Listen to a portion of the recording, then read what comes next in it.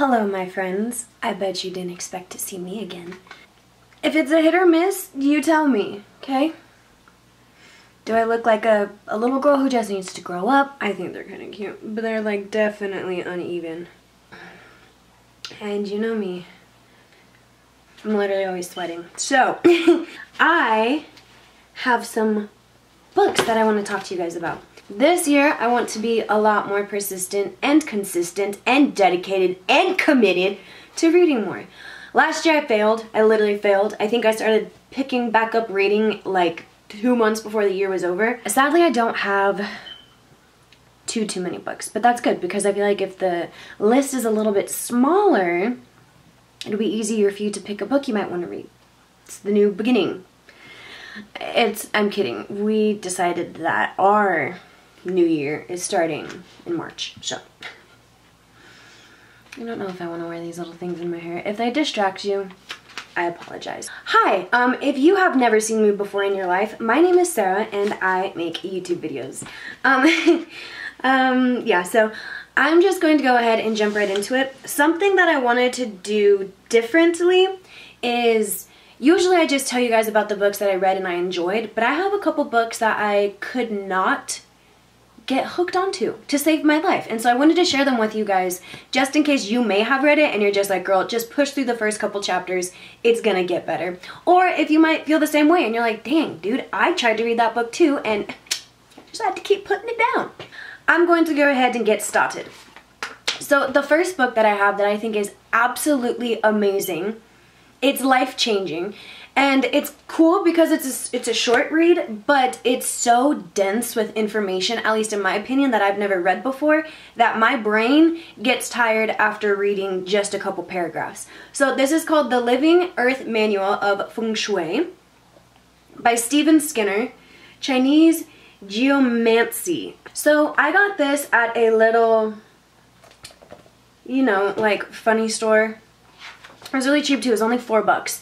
But basically, this is the perfect, alright, so the notion of feng shui, if you've never really heard about that, I it's completely foreign to me, but my mom was obsessed with it. She just was, oh, nope, that's bad feng shui, oh, feng shui, no, no, no, and I'm like, all right, weirdo. But now I am bamboozled, okay? This is a perfect beginner's book to feng shui. It goes into the definitions, it talks about qi, it talks about how y'all, this is such a good book. So feng shui is basically the notion of how the energy moves around both you and your living space. And what's also really interesting is it compares European slash American tradition living to the Chinese and how the Chinese flip the compass. The compass is north is where south is and south is where north is. So they perceive and live things completely differently. So it was really interesting to learn that and read this and almost hear about all of the bad feng shui that Europeans and people brought over and implemented into America. So freaking crazy, you guys. It talks about um, landforms, it talks about rivers and mountains and how we have completely messed everything up over here and kind of all over the place based off of our ignorance towards energy and how it works yeah, I love it. It really goes into how we in Western society are way more obsessed with just getting buildings up. They can be just tall, square, rectangular buildings right next to each other. And it was talking about how bad of energy it brings to have houses that are all shaped the same and um, at the same level of rooftops. Um, yeah, it goes into how horrible power lines are, not just the obviously what they emit, but how they are just completely straight. It's so interesting, you guys. I feel like, like I said, it's such a dense book, so I can't even describe half of what is really talked about in here. But something that I also found really, really interesting, kind of like little synchronicity, um, I have been studying so much about like old history, what really was going on, and I, I haven't really talked about it too, too much, but one YouTuber that I will highly, highly, highly, highly, highly, highly recommend is Michelle Gibson. She is so flippin' smart. The work and the dedication she puts into every single video she makes is just, I don't, I don't I don't I don't know. I don't get it. But she talks about ley lines and how um, there's all these coordinates that line up perfectly with one another and it's really really interesting. And they brought up ley lines and how dangerous ley lines. It's just I really really recommend this book you guys. Especially if you just feel kind of uncomfortable with your living situation. Say you just moved into an apartment and you don't really know like why do things feel off? Maybe you feel off in your neighborhood or when you go down a certain sidewalk. It's just really interesting. Highly recommend this, you guys. Highly recommend Michelle Gibson's channel. I watch her, I probably watch her videos all the time. I fall asleep to her videos because I like how her facts and the information she speaks parallels with my dreams, if that makes sense. So it's like I will fall asleep listening to one of her videos and then I like wake up in my dream at the location she was talking about and then I'm like, oh, all right, let's go, Michelle. But um, yes, so I think that, yeah, her channel plus this is going to introduce you into, um, it's not even like a rabbit hole, it's more so of a, I don't know anything. and I don't think anybody else does too. Meaning like about the world, inner history, energy, that type of goofy stuff. So my next book this book has a really, really cool story behind it because a, a while ago, like I'm talking last March maybe, I swear I wrote in here. Okay, so December 26th of 2021. Oh, I'm over here thinking I read it last year. So I finished January 3rd, 2022. Um, so crazy story. I had too many books, right? Like just too many books and sometimes like feng shui will tell you books carry some energy itself. So having all of this knowledge around and just sitting there, I wanted to kind of give it away. So I got this big box and I put all these random books in it that I haven't read that I've had for a really long time to go put in a free library. So I'm sitting there, sitting there, sitting there, and I don't know why you guys, but there's something like calling me from the box. Like I just feel this like magnet pulling me and saying like, yo, come here, Sarah, come here. So I get up, right? I go over to the box and I'm kind of like looking through. I have to like go through a couple books and something tells me to just pick this book up. I got this book off of Amazon probably like the year I started YouTube looking up really scary creepy books, right? I wanted to like what is the most creepiest book in the world? And Johnny Got His Gun was one. And I just put it on my list. I was kind of hesitant about reading it because I was worried it would be based on war. I was worried it would just be about guns and stuff and that's just not really my cup of tea when it comes to being scared. So I never read this book. As you can see, though, there's so many sticky notes. So whoever Leslie Jensen is, Johnson, um, she read this book. And so it's so cool because I have her handwriting, um, her there, but I have their handwriting in this book and their highlights and like notes. So it's really interesting because it's almost like I'm reading this along with somebody else, if that makes sense. So it's really interesting and it's fun to see like sometimes we want to highlight the same things, sometimes I want to highlight something different. But this book is such a crazy book. Alright, so back to what I was saying. I just picked it up. I had never read it before, but I've had it in my collection for freaking forever. When I say this is hands down my favorite book now, trigger warning, it is creepy, it is crazy, it makes you, it just makes you think completely different. I'm not to give it away, alright, but it's about a man, and it's basically his train of thought. Um, he got into a horrible accident, I'm not gonna explain how, but like on my life, you guys, he only has like a head. He lost his body, like I think he has his chest, but he has no legs, he has no arms, he can't see, he can't talk, um, but he can hear. And it's so crazy, you guys, because it's basically him and you get to live throughout his mind. And I couldn't put this book down. So I started this on the 26th and I finished it on the 3rd. So what, give or take the new year. Probably didn't read it for a couple days. I finished this in probably two, three days, all right? I could not put this down. And, and Johnny, Johnny, um, I swear to you, old dude was calling my name from this book. Like I said, he can't speak. So I swear on my life, I felt the energy of this man and he was like, yo, can you please freaking read this book? Don't give up on me. And I was reading it and I was like, holy crap. Like I'm talking, this thing went with me everywhere I went and I was just trying to finish it. Oh my goodness. You guys, this is such a good book. So I'll just like read a little sentence. Inside his skull, there was a normal man with arms and legs and everything that goes with them. It was he, Joe, trapped in the darkness of his own skull, rushing frantically from ear hole to ear hole. Wherever in the skull there might be an opening. Like a wild animal, he was trying to hammer his way out to escape into the world beyond. He was trapped in his own brain, tangled in the tissues and brain matter, kicking and grogging and screaming to get out, and the only person in the world who could help him had no idea what he was doing. So, oh my god, it gives me the goosebumps. Sick. you guys have to read this. And supposedly they turned it into a movie, but I kind of just want to have the feelings of like, yo, this is this book and me were just meant to be. Like, I was not supposed to give this away. And I swear to God, he was screaming internally to, to come and say, can you please read this? So gave me a whole new outlook on the it gave me a whole new outlook on life. It really really made me respect just just being alive. So um there's like I'll give you a little hint. There's this time where he's trying so badly to communicate with this lady, the nurse, right? He just wants like she he thinks she finally cracked a code by like tapping on his chest a certain way. Like it was it's such a crazy, crazy, crazy book. So I highly recommend this, you guys. It's Johnny Got His Gun by Dalton Trumbo. Phenomenal. I can't even express how good that book is. Alright, I just can't. So my next one, and I don't know why, but Akari's going through this new phase of where she just like wants to sneak in, steal my books, chew them up, and let it be. And I'm like, dude, what the heck are you doing? You have toys, you have bones. So this book I want to enjoy this book so badly, but I cannot. And I think it's due to the way it was written. I don't know. Okay, so this is called A Girl is a Half-Formed Thing. And let's see who's by. See, and I felt so bad because there was like a note, a really precious note written to whoever gifted this book to them. Um, but yeah, I got this at a little free library, I think. But uh, what the back says it's about is a little girl going through life with her little brother or older brother, I can't remember, having a brain tumor.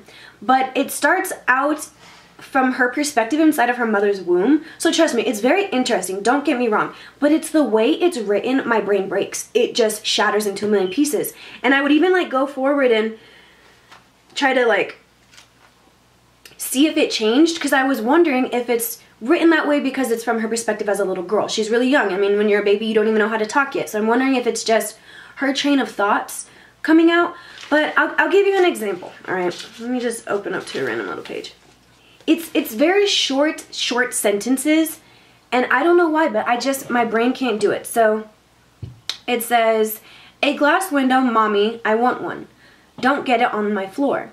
Howl winter all through the night, that year in the trees where we climbed on the hedges on the road. No cars here, no one comes. Things crying in the field for me. Say they want me and come down the walls for me. She's coming, Mommy. Who? The Banshee. Don't be silly. Sure, isn't your brother here? Won't he mind if... Won't he mind you if anything comes along? Should I close the door or leave it open? I don't know. Shut bad out or shut bad in? Worse you. And said they are coming. For you and me. Stop it. Coming for us and we're without a knife? What knife? The one that goes with the machi magic machine. What is that? Makes the noise for killing bad things. A big dark tunnel bangs. How do you know? That's what I had. Me shouting. It burns. Awful. Ah. The doctor said fire came out my eyes. He didn't. He did, and these aren't mine. They are mine. Mine melted. These are goats. Goat eyes, and the devil wants them. My throat closing. Shut up. Ugh, shut up. Mommy? But wakes me at night. Go eyes riding off into the sky. So as my brain's trying to read this, I can't comprehend what I'm reading afterwards. I just, and it's so crazy because um, like the review on the front is like, this is life changing and um, you gotta read this and all that. And then I'm like reading it and I'm like, I can't. Even my first sentence I wrote down on my annotation, I was like, this is a little hard to read yeah, it's I, it's really hard. So if you've ever read this book, please let me know. Is it something I just gotta push through? Will it be worth it in the end? Did you have a hard time too?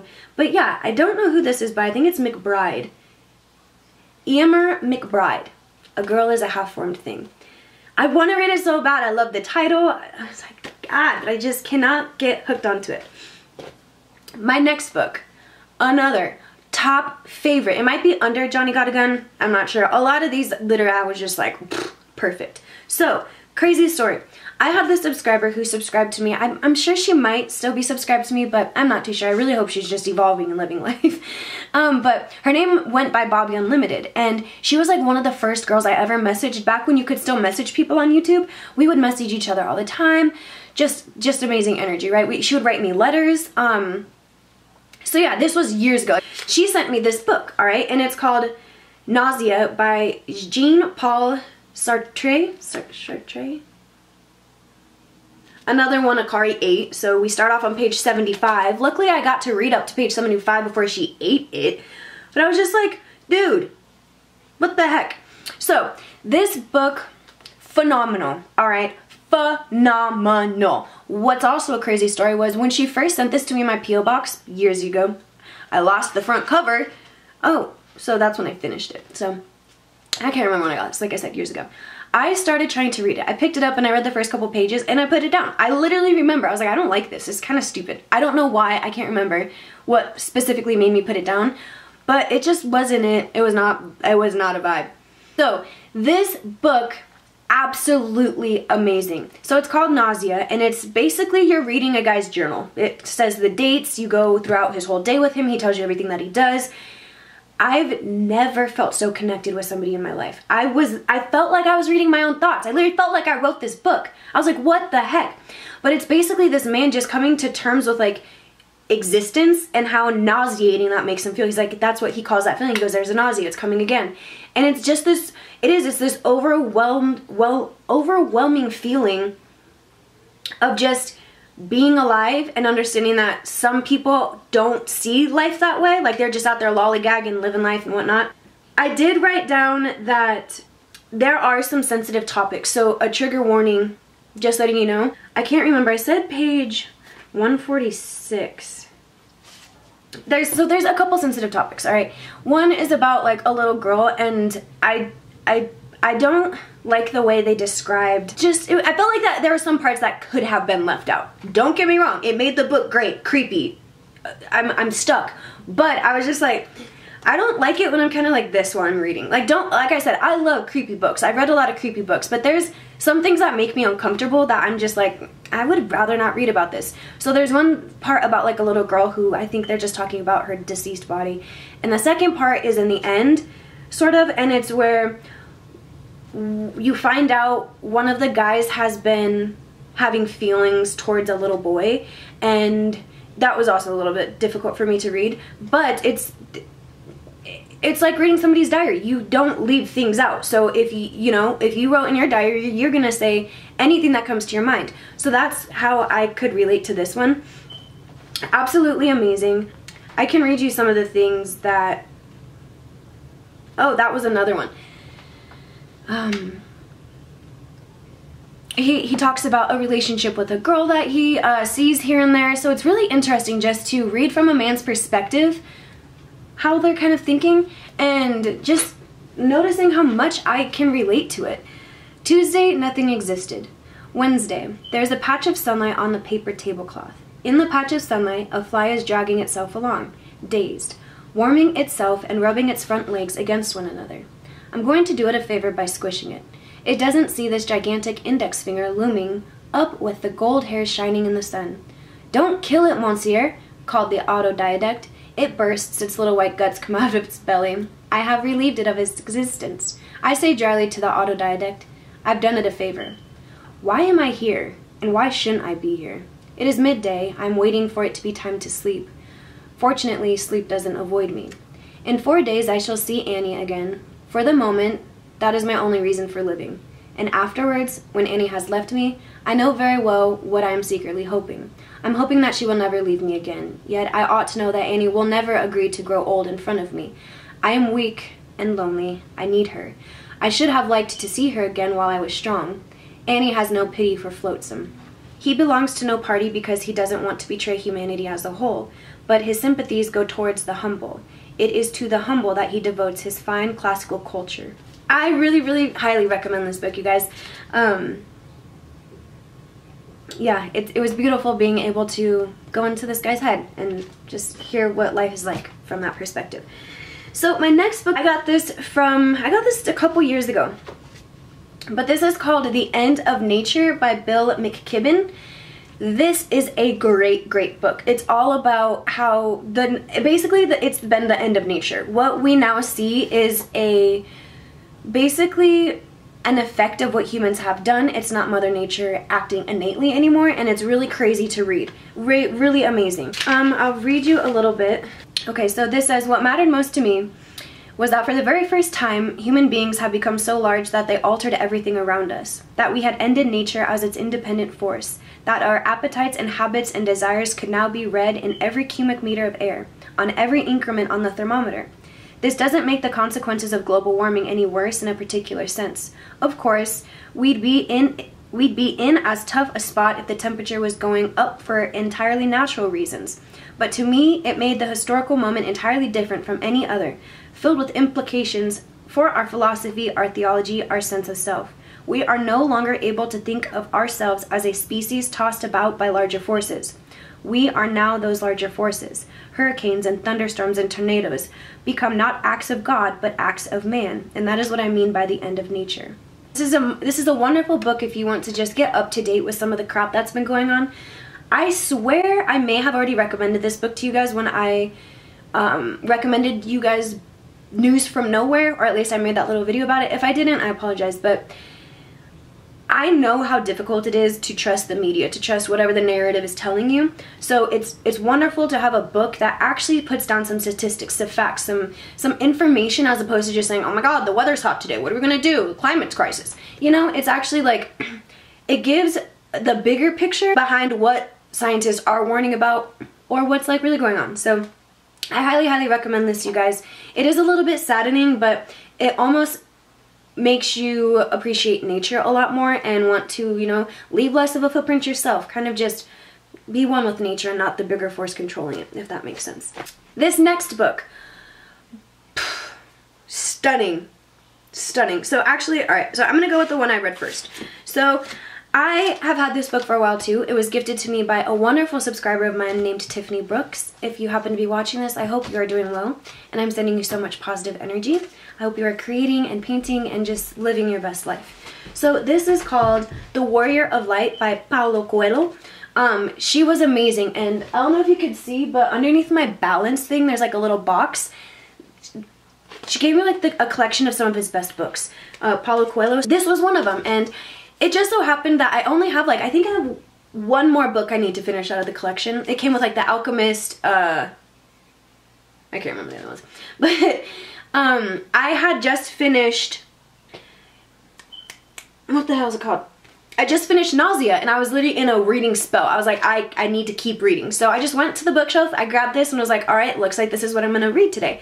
So at first picking this up, I didn't know that it was more, it's more of a manual, if that makes sense.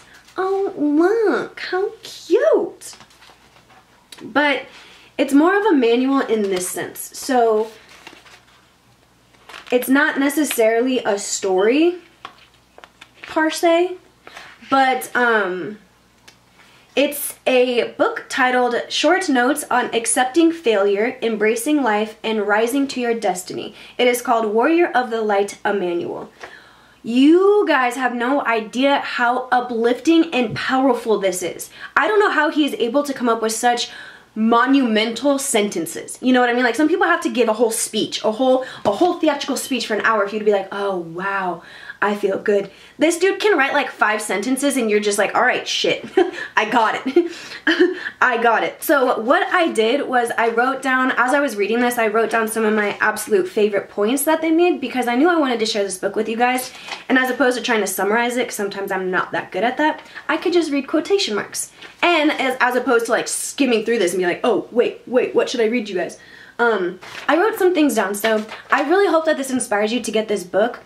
It's also one of those books where you don't have to pay attention to the characters necessarily. There's like two characters in the whole book, but um, it's mostly just a manual. It's great. Like they said, it's short notes on embracing life. So I'm going to read you some of the really important things that I liked. A thorn, however tiny, can cause the traveler to halt. A tiny, invisible cell can destroy a healthy human organism. The memory of a past moment of fear allows cowardice to reborn with each to be reborn within each new morning. A fraction of a second opens the way for the enemy's fatal blow. He knows how to deal with the situation better. Why? Because he uses fear as an engine, not a brake. For the warrior, there's no such thing as impossible love. The warrior takes stock of his life. He makes sure that his sword is sharp, his heart is satisfied, that his faith still burns in his soul. He knows that maintenance is as important as action. A responsible warrior is not someone who takes the weight of the world on their shoulders, but someone who has learned to deal with the challenges of the moment. A warrior does not try to appear one way or the other. He simply is. The act of surrender forces the warrior to stop asking foolish questions and helps him to overcome his feelings of guilt. A warrior is as wise as a serpent and as innocent as a dove. When the moment for combat when the moment for combat approaches, the warrior of the light is prepared for all eventualities. Concentrate and disperse your energies according to the situation. Yes, life is insane, but the great wisdom of the warrior lies in choosing his insanity wisely. He celebrates yesterday's victories in order to gain more strength for tomorrow's battles. The world is, after all, doing its best to help him, even though everything around him seems to be saying the opposite. The warrior smiles, but he does not try to feel things that he no longer feels. He is changing and he wants his feelings to keep pace with him. And my absolute favorite one is he never says yes with his lips if in his heart he is saying no. That last one is my absolute favorite. He never says yes with his lips if in his heart he is saying no. So this book is amazing. Like I said, it's just short little snippets, short little like quotes or messages that is truly inspiring. Anytime I picked up this book, I was kind of scared because I knew I would finish it in one day. So I kind of like eased it out and just read a few pages here, a few pages there. If, if I went to a lake, I brought it. I would love to read it in nature. So I highly recommend this book, okay? Highly recommend it. Highly, highly, highly recommend it. So what's even more crazy is after I finished Warrior of Light, I was like, why not just go over to my stack and pick another one of those books? So I, I hope I pronounced this right, but this book is called The Volk The Valkyries, and it's also by Paulo Coelho. Phenomenal, you guys this this this man is an amazing amazing writer. So i don't want to give this whole book away at all because it's freaking amazing. But basically what it's about is it's him first person paulo coelho and his wife and he has something's calling him to the desert all right and he wants to go find his his self. He wants to find his inner his inner him right? It's their lovely journey together through the desert what they um what they learn what they're taught, the people that they run into, it's just amazing. They run into this group of women who live in the desert and they're named the Valkyries. So crazy, so inspiring. You gotta love it. Something that I really, really liked about this book was that in the end, he talks about how he learned because he kind of falls like he's married, right? But he has an attraction towards one of the women that he meets in the desert. He can't help it, poor guy. poor little thing. And so it, it's basically he opens up about how he's feeling his own thoughts and he learned that there's a difference between being infatuated by somebody and being in love. And I guess I'd never really heard it be put that way, where he realized that he was madly in love with his wife. He would never do anything other than want to be with her, but he found himself being infatuated. And it wasn't like he was necessarily getting on himself, like being hard on himself because he was having feelings towards this woman, but it was the awareness and his understanding and sharing that and kind of being open. I I think that's amazing. I personally know for a fact that there's probably so men so many men and women too, but there's probably a lot of men who are extremely infatuated with other women and are confused with the fact that how can I be infatuated with this one woman when I love this woman? Like, I'm sure that's a conundrum in itself, but I think it's amazing that they were kind of open enough to share that with a huge broad audience and just say hey this was my little journey that i had into the desert. This is what happened. My wife was there like the whole time. So interesting you guys. Such a beautiful beautiful story.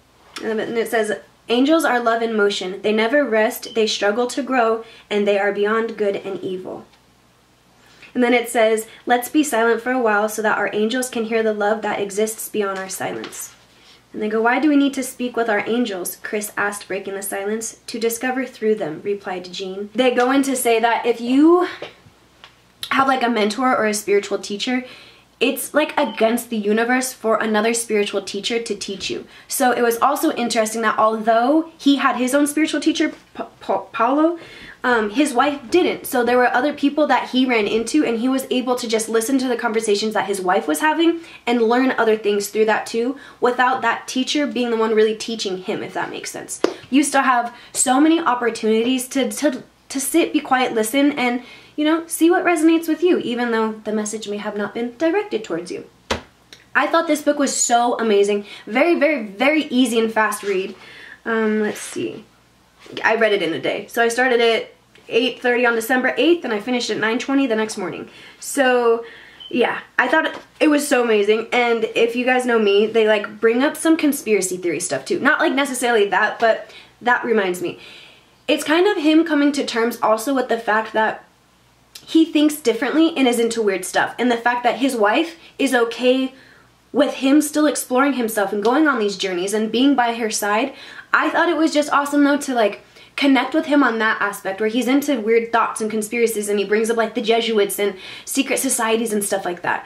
And he feels crazy when he brings up stuff like that, but there's other people out there that that do resonate and kind of are into the same thing as well.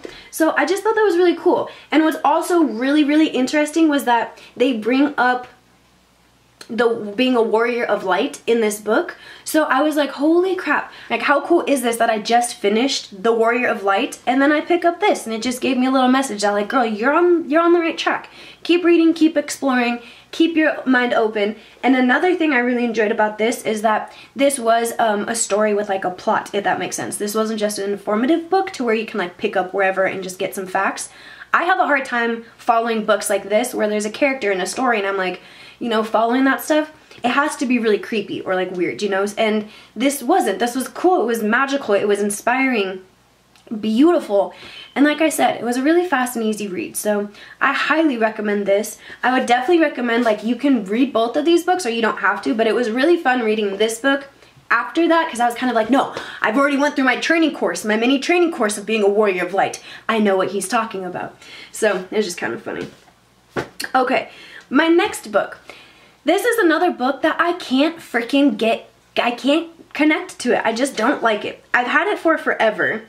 I don't remember uh, what year I got this, but I remember it was just on a list of books that if you're into weird crap, weird books, read it. But it's not that weird in my opinion. And like I said, maybe I just need to like stick through and read it. But for one, it's a pretty thick book, right? So if if I'm if I'm gonna read over 400 pages of something, I better like it. so this is called the Electric Kool-Aid Acid Test by Tom Wolfe. I, you know me, some of the times I don't like to read the summary of the book or the back of the book because then I feel like my mind just does its own its own puzzle piece of solving the problem and I think I already know what the whole book is about. And I don't feel as like ooh, what's gonna happen next? I'm like, oh, I already know she lives in Texas, she's gonna be getting this, and she meets a husband, and they live on a farm. You know, I'm not really waiting for all the in-between stuff. So I don't know what this book is supposed to be about. From the first couple pages that I did read, it's about this guy who is in jail or prison because he was like selling LSD. He was like one of the biggest known drug drug producers or suppliers, whatever you would call him but he got locked up. So this guy is like on this little adventure to go find him. He wants to talk to him because now this guy is trying to say that people need to move past acid, move past this LSD thinking they're on top of the world thing. So don't get me wrong. The like I it's interesting, but I'm not gonna lie, it's almost like a little bit too masculine for me. You know, they're they're talking about like drugs and prison and all the boys are getting together and then they go meet up with the other boys and you know, so I, it's not that I don't recommend this book, it's just I seriously could not get connected to it. I want to so badly. It looks so funny and I bet you it's a it's a trip to read. But I'm just like, god damn. Yeah, so if you guys have read this or have heard reviews on it or like, girl, just give it a try, let me know. Or maybe like I can influence you. If you're into like funny, goofy books, I don't know if this is funny or goofy. So watch somebody get this and be like, that's about a whole murder case. But yeah, I just couldn't, I couldn't get connected with this one, so I, I had to put that one down, but I still wanted to share it with you guys. So, lastly, this. So, I wrote in the beginning not sure where I got this from. I was going to give it away. I decided to pick it back up and give it another chance. Wasn't feeling the other book I started. I just finished Johnny Got His Gun. I said I started this January 6th during the panty. I can't say that word. I said I finished this book. I love it. It's crazy how this is depicting the current world of 2022. So this book, I, I told you, it's been two years since I've read it. Absolutely amazing. I swear I got this um, in the same time period of like the Kool-Aid acid test and Johnny got his gun because I was just trying to find as many weird books as I could. So that book is freaking amazing. I'm not going to give it away, but it's basically about this guy who is like, he's a scientist and he's trying to like come up with something, right? And he realizes that what he made need like how do you say like it's not it, I can't remember if it's not allowed if it's forbidden or if it was just like he can't let people know about this. They asked him to destroy it. It's something along those lines right? He couldn't part with the fact that he spent so much time energy and dedication into this. I can't remember what the heck it is. But it's this substance and he decides to inject himself with it. So it's basically about what happens after he injects himself. Let's see. Good. I'll need a lab and I'll need to use BK Pharmac's private strip. When I leave my plane, I must be placed in an isolation suit and a sealed and in a sealed biologics transport truck immediately. Then my aircraft will be destroyed on the runway and the entire area sprayed with disinfectant foam. I will be your guest, if you can call it that, indefinitely. The lab should be equipped so that I can live there and do my work. I will require a computer terminal with full services. You are seldom a drunkard, Michael, and you have never been unstable. Not in our time together. This sounds quite serious. Are we talking about a fire, Michael? A vat spill, perhaps? Bernard wondered how Paulson had found out he was working with gene engineering. Or did he know? Or was he just guessing? A very extreme emergency will all be explained? Yes, and it will be to your advantage and your nation's advantage to know ahead of time. So hear me out, right? So will it be explained? Yes, and it will be to your advantage and your nation's advantage to know ahead of time. It does not sound trivial, Michael. He felt an irrational sense of anger. Compared to this, everything else is trivial, Paul. Then it will be done. We can expect you within 24 hours. Thank you. He hung up and glanced at his watch. He doubted if anyone at Genetron understood the magnitude of what was about to happen. It was difficult for him to imagine, but one thing was clear. With 48 hours of Harrison informing the CDC, the North American continent would now be placed under virtual isolation. Whether officials believed what was said or not, the key words would be plague and genetic engineering firm. The action would be completely justifiable, but he doubted if it would be sufficient. The more the drastic measures would be taken. He did not want to be on the continent when this happened, but on the other hand, he did not want to be responsible for transmitting the contagion. He so he would offer himself up as a specimen to be kept at the first pharmaceutical research firm in Europe. Alright, so that's what this freaking book is about. It's this guy and he injects himself with something and then realizes like, yo, mm, maybe I shouldn't do that. It is crazy. I highly recommend it, especially because the world's weird. Who knows what's gonna happen this year, but reading that during the whole like real kickoff of when the world was being flipped upside down, it's just crazy because I know it's not the same thing, but there's so many books out there, like especially sci-fi books, that predictively uh, that are predictively programming people to be ready for when this like a big plague or a contagion breaks out or being isolated. I just find it so so so weird. Um, like you know 1984 by like George or or whatever. Supposedly that dude was that dude's like a little bit deeper into the game than we think about and he wrote that book as like an early warning something along those lines. Like I have heard stories and theories that certain authors aren't really authors but that books are written and they basically expose stuff like I don't know. You guys remember that one book that literally cannot be found anymore because it was talking about literally something happening in a Wuhan lab and it was just like a little sci-fi book from years and years ago but it literally depicted everything that was happening in our present future. So that's another reason why I love reading interesting books is because sometimes I feel like you're just reading what's happening in real life. Blood Music by Greg Bear talks about genetic engineering and then listen to this. It says Vergil's heavy black eyebrows arched and drew together behind the thick rims of his glasses he smiled, revealing teeth spotted brown from the childhood of drinking naturally fluoridated water. I like brown spots on my teeth. That is so funny. But it's a great book. I love the way it was written. Wonderful, wonderfully written. Has you on your toes completely. And yeah, if you're into like weird, like sciency, creepy crap, that book is great. Like I said, another one of the books I'm surprised that I enjoyed so much because there are characters that you have to follow and like all this and that and the other. But that book is creepy. Like I said, I don't want to give it all away besides the fact that old dude literally injects himself with something and as you heard, he's like, I gotta be isolated from everybody. I need to be put in a lab and I need to be like under severe supervision.